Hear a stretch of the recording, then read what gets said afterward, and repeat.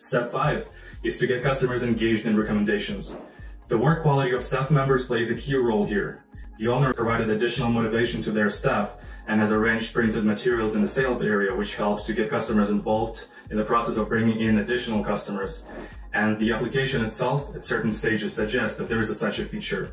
In general, the foundation of successful recommendation practice is product quality and constant attention to loyal customers who after some time get involved into recommendation mechanics because they understand how it's convenient and profitable for them and get excited to tell their friends about the store.